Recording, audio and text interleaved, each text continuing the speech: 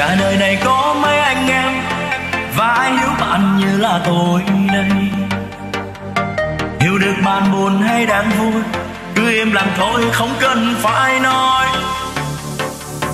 Đoạn đường mình gắn bó bên nhau, nhìn lại chớp mắt không ngờ qua mơ lòng thâm vụ bởi rồi chúng ta một lòng chân quý nhau.